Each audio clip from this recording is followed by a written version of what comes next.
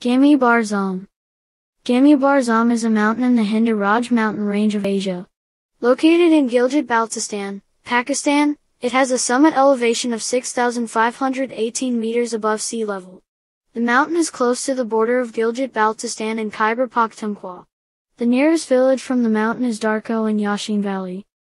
The entire prominence of mountain is visible from Darkot and Rawat villages.